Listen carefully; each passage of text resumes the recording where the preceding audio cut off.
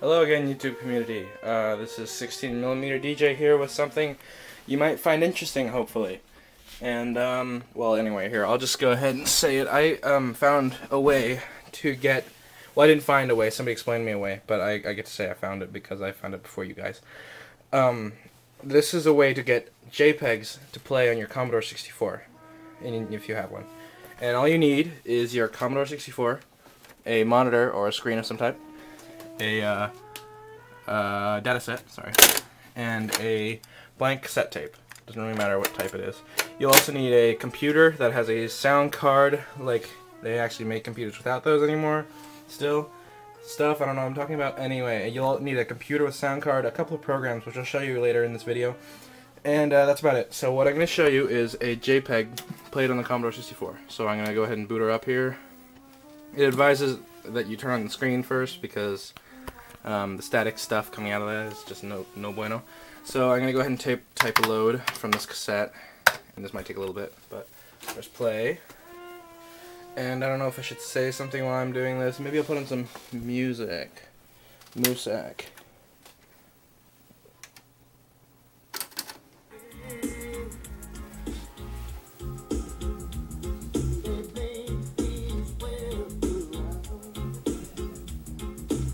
Okay, now I press Commodore.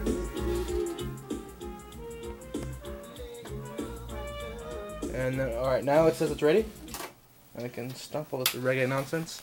And then we type R-U-N, return, and then we watch it do its little loading bar thing, and hopefully you're not epileptic, so here we go. Da da da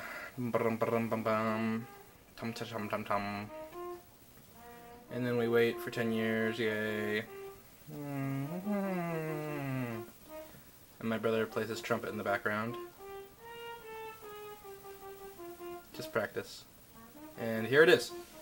Um, that is a true-to-life JPEG to a PRG to a .tap file on the Commodore 64, and it's if you can't really tell, that's alright, I don't blame you because there are there are only 16 colors on this machine. It's my Polaroid SX70 from the front view. And I'm sorry about this uh, the screen nonsense going on here, but um, next, uh, I, I, don't know if I, I, don't think I'm gonna make another video. Just keep watching, and I'm going to make I'm gonna show you how I did this. All right, and here we are back in my um, in my living room, where um, we are going to be converting the JPEG to a TAP file, and um, I got my blank tape here, and a tape recorder set up here. I'll go ahead and slip it into the tape recorder, and then I'm gonna give it a little bit of extra recording space just so it doesn't get the two pictures mixed up or anything. So, and now what the program I'm going to use is called, let me find it here. It's called GangEd. Gang Ed. I don't know how you uh, see right there. And you can all touch a link to, to it on the video thing. But if you open that, it will show you a C64 screen and where you, what you can do here is you can go to File, Load, Import PC Image, and then you go to anywhere on your computer where the images are. I think it's actually on the D drive for no particular reason. My documents D, Pictures, um, uh, Photo Assignment 5. I don't really know, I'll just pick a random pictures I think. Let's see. Pick From one for my final four. Let's just do. That's kind of a nice, but it probably won't show up well. Let's just go with this one. And oh, sorry. And then what it'll do is it'll give us a little preview of the actual image right there, the original. And then right here, it'll show us what the C64 will make it. So I'm going to go ahead and press OK, because that's fine by me. And now it made it on the fake Commodore screen and now I'm going to press File, Save, as an uh, .prg file, so the next program we use can understand it. So let's just name it Haracharm, save it on the desktop and Save, and then we can go ahead and close GangEd, and then we can go to our next program, which is called Wave PR WAV-PRG. So you open this guy. You're going to want to choose the second one, convert a PRG blah blah blah, blah to a sound or tap or wave. And we'll click on that. Okay. And we're gonna want to identify that we're gonna save it to the sound card or uh, run it through the sound card. And then we'll press OK. Oh, I should probably get this started. So pause, record, pause, record, play. And then OK. Sorry. Click OK, and then I'll click that one, which is the one I wanted to go. And before I click OK, I'm gonna or open. I'm gonna un. I'm gonna start recording because it's gonna open it straight up, and I'll click open. And then this bar here is showing the progress of how far it's gone. So I already set my levels so that it should be perfect, or somewhat near perfect, and that kind of stuff. And this is kind of a long process because it is, may I remind you, setting it to a cassette tape.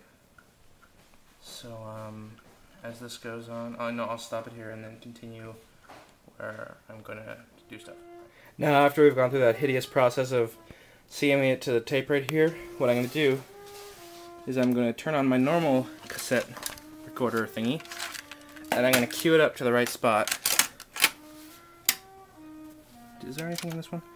Sorry about that. Um, I'm to cue it up to the right spot in the recording, so it should be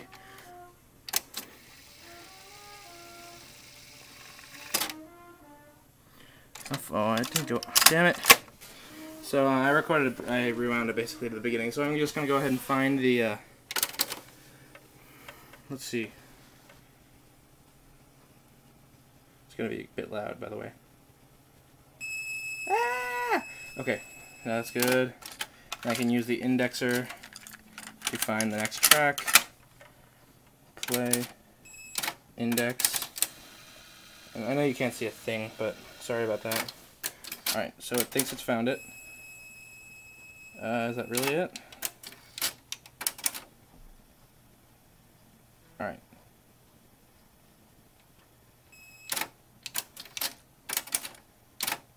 Alright, so it does appear that it has found the track, the second, because I recorded it after that first JPEG, so I'm going to go ahead and start this guy up again.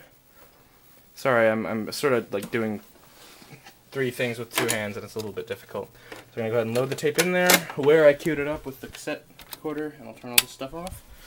And then I'm going to do the load again. Load. It'll automatically load from tape after you press play. And then you wait for 10 years. And then la da da da. We listen to a reggae, reggae music, which is not on at the moment. But, uh, oh, by the way, this video is kind of for Senor Verde because um, I've been making, oh, so that's found, and then press Commodore. So um, he he kind of we had a little chat, and he um, R U N return, and we've just been talking about this sort of stuff. And uh, so as you can see, it's doing its loading screen again.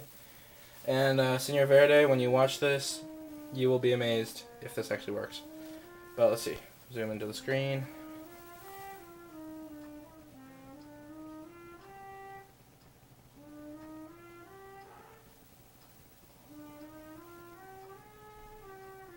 Ta-da! There we go. Isn't that awesome? So anyway, uh, go do this if you have your Commodore 64, your monitor, and your uh, cassette drive, and your and those two programs, which I'll make sure to throw on the uh, the URL, uh, not the URL, the uh, more info about this video thing down there. I think it is now. So um, go do this, and it's really cool and stuff. So thanks for watching on behalf of 16mm uh, DJ and C64 Airlines.